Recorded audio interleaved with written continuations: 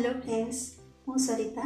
welcome କରୁଛି ଆପଣମାନଙ୍କୁ ମୋର ଚ୍ୟାନେଲ୍ ସରିତାଜ୍ କିଚେନ୍ ଷ୍ଟାଇଲ୍କୁ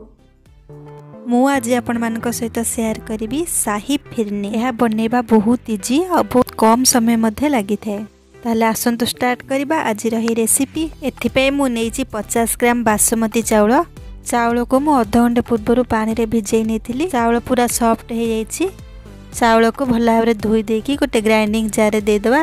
ଏଥିରେ ଚାରିରୁ ପାଞ୍ଚ ଚାମଚ ପାଣି ଦେଇ ଏହାର ଗୋଟେ ପେଷ୍ଟ ବନେଇ ନେବା ଆପଣ ଏଠି ପାଣି ବଦଳରେ କ୍ଷୀର ମଧ୍ୟ ଦେଇପାରିବେ ଚାଉଳକୁ ଯେତେବେଳେ ଗ୍ରାଇଣ୍ଡିଂ କରିବା ଏହାକୁ ପୁରା ଫାଇନ୍ ପେଷ୍ଟ ବନେଇବାନି ଟିକେ ଦରଦରା ରଖିବା ଏହି ପ୍ରୋସେସ୍ରେ ଫିର୍ନି ବନେଇଲେ ଫିର୍ନିର ବହୁତ ବଢ଼ିଆ ଟେଷ୍ଟ ଆସିଥାଏ ହାଫ୍ କପ୍ କ୍ଷୀରରେ ମୁଁ କିଛି କେଶର ପକାଇକି ରଖିଦେଇଛି ଏହାଦ୍ୱାରା ଫିର୍ନିରେ ବହୁତ ବଢ଼ିଆ କଲର୍ ଆସିଥାଏ ଏଠି ଗୋଟେ ଲିଟର କ୍ଷୀରକୁ ମୁଁ ବଏଲ୍ କରିବା ପାଇଁ ବସାଇ ଦେଇଥିଲି କ୍ଷୀର ଭଲ ଭାବରେ ଫୁଟିଗଲାଣି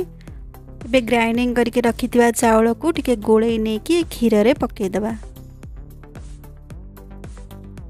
आउ क्षरको कन्टिन्युसली चलाउने चाउल गैस को लो मिडम फ्लेमेकि को गोलुवा चाउ सिझिया पर्यंत क्षीर फुटिला बेला देख्नु साइड रे जो सरो लागु त्यो कि क्षी सहित देबा ଏହାଦ୍ୱାରା ଫିନିରେ ବହୁତ ରିଚ୍ ଆଉ କ୍ରିମି ଟେକ୍ସଚର୍ ଆସିଯିବ ଏଠି ପାଖାପାଖି ଦଶରୁ ବାର ମିନିଟ୍ ଫୁଟେଇଲା ପରେ ଦେଖନ୍ତୁ କ୍ଷୀର କେତେ ଗାଢ଼ା ହୋଇଗଲାଣି ଆଉ ଚାଉଳ ମଧ୍ୟ ଭଲ ଭାବରେ ସିଝି ଯାଇଛି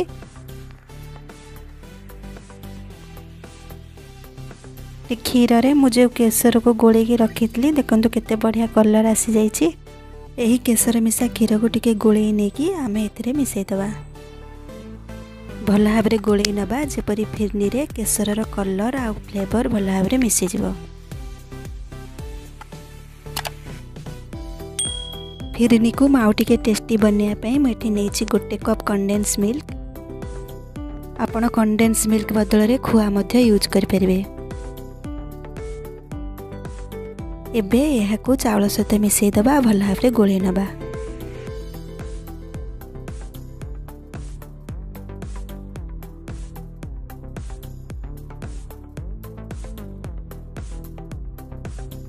ଏହି ଫିର୍ନିର ଫ୍ଲେଭରକୁ ଆଉ ଟିକେ ବଢ଼ାଇବା ପାଇଁ ଆମେ ଏଥିରେ ଗୋଟିଏ ଚାମଚ ଇଲାଇଚି ପାଉଡ଼ର ଦେଇଦେବା ଆଉ ଏହାକୁ ମଧ୍ୟ ଭଲ ଭାବରେ ମିକ୍ସ କରିନେବା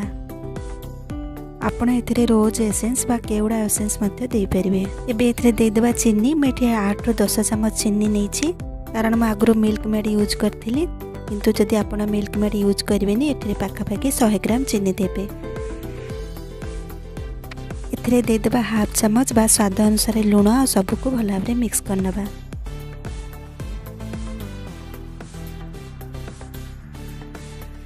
ଏହାକୁ ଆଉ ଦୁଇ ତିନି ମିନିଟ୍ ଫୁଟେଇ ନେବା ଦେଖନ୍ତୁ ଧୀରେ ଧୀରେ ଫେନି କେତେ ଗାଢ଼ା ହୋଇଗଲାଣି ଏହାର କନସିଷ୍ଟେନ୍ସି ପୁରା ପରଫେକ୍ଟ ଅଛି କାରଣ ଥଣ୍ଡା ହେଲେ ଏହା ଆଉ ଟିକେ ଗାଢ଼ା ହୋଇଯିବ ଏବେ ଆମର ପ୍ରସ୍ତୁତ ହୋଇଯାଇଛି ସାହି ଫିର୍ନି ଆମେ ଗ୍ୟାସ୍କୁ ବନ୍ଦ କରିଦେବା ଆଉ ଏହାକୁ ଗୋଟେ ବାଉଲରେ ସର୍ଭ କରିନେବା ଆପଣ ଏହାକୁ ଖରାଦିନେ ଫ୍ରିଜ୍ରେ ରଖିପାରିବେ କିନ୍ତୁ ଯେହେତୁ ଏବେ ଶୀତ ଦିନ ଚାଲିଛି ଆପଣ ଏହାକୁ ବାହାରେ ଘଣ୍ଟେରୁ ଦୁଇ ଘଣ୍ଟା ରଖିକି ଖାଇପାରିବେ